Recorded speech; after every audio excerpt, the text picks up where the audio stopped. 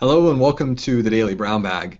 Today we're going to be having a special lunchtime topic here talking about the peanut butter and jelly analogy in online marketing, which is organic and paid search marketing. I'm Chad Hill. I'm joined by Adam Stetzer. Yeah, good morning, Chad. So SEO and PPC are like peanut butter and jelly. They go very well together, each one on their own. Not quite as interesting. What are we talking about here? Well, I think you know a lot of people struggle with how much of their budget to put towards PPC or SEO. SEO is definitely the long-term plan, and there's a lot of data that shows just how effective it can be.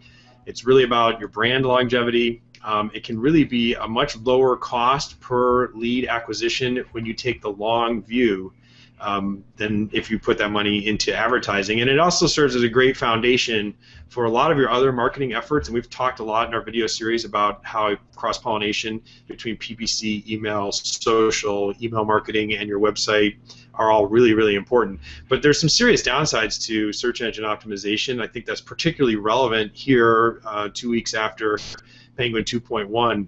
Um, it does take a long time, and it's a roller coaster ride. It is uh, the rules of the game can change as Google changes things. So, unlike PPC, where you see immediate results, SEO you have to wait a long time. And even if you did have great results for a while, an algorithm change can come along or something unexpected and can really uh, you know take a whack on your rankings. So the downside there uh, for SEO is obvious the downside of PPC is cost. Now, even with that, here's some interesting stats um, in, that came out of the state of the paid search reports that I think we should uh, think about and talk to our viewers about. 70% of folks surveyed increased their PPC spend in 2013, and that's really consistent with the top line numbers we're seeing from Google and as we track Facebook and as Twitter with their IPO gets into the advertising game. 72% plan to increase their PPC spend in 2014. Um, 73 of the 73% of those folks spend uh, plan to spend it in AdWords, with about half of those surveyed saying they plan to increase Bing, and, and half surveyed saying they plan to increase Facebook.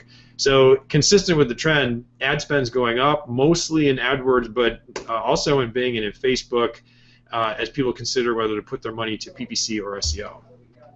Yeah, absolutely. And th- we had some other complementary stats here where, you know, basically um, HubSpot also put out a survey that every year and talks about how much the CMOs and other marketing leaders are putting into inbound marketing. And basically, we've got a stat here that says that 53% of people are increasing their inbound marketing budgets. Um, that SEO and social media uh, account for about 23% of total inbound marketing budgets uh, and that SEO is a top channel for conversions and one of the top for sales leads. So these are SEO is still critically important. Um, I think though one of the big questions here is, well, should I should I pick one or the other? And Adam, you certainly talked about the risks of of only investing in one versus versus being more diversified. But another benefit, and we talked about this in a, a video a few weeks ago, is that there was a study that came out that actually showed that um, paid search and SEO, or organic listings, that actually the paid search results can, in most cases, get incremental results. Uh, so especially if you were, I think, at position four or below on the page, that something like 80% of the clicks you're getting from paid search are actually incremental. They would not have happened had you not been in the uh, paid search results. So I think these really these things really do go together, and they're really important. There's a couple other things that I wanted to mention about why should you do paid search and organic. Uh, one of the other really important ones is that with paid search, you can reach a much broader set of keywords more quickly. So not only can you, you know, see more immediate results, but SEO is great when you can rank on those head terms, especially the head terms uh, that you know how expensive they would be to, to dominate in paid search only. The nice thing about paid search is that you can also then expand beyond those head terms to trying a lot of different um, uh, terms, and we do this in our business all the time. We say, I wonder if we you know develop this product and advertise it like this, what would the response be? And so it allows us to very quickly test uh, and get a better sense of what the market is for certain products out there. It's really a great way of complementing. Now Google knows that this is happening as well, and they're trying to bring more people into paid search. So one of the things that they've done recently in AdWords is they've actually, for the first time, allow you to get a side-by-side comparison of organic and paid search and how you're doing in both. Uh, so this is something that takes a little bit of configuration. You have to go through AdWords, go to the dimensions area, and then you have to actually link your AdWords account to your Google Webmaster Tools account. Sometimes those things are a little tricky, but once you do that, you can have some really new information that, that you wouldn't otherwise have.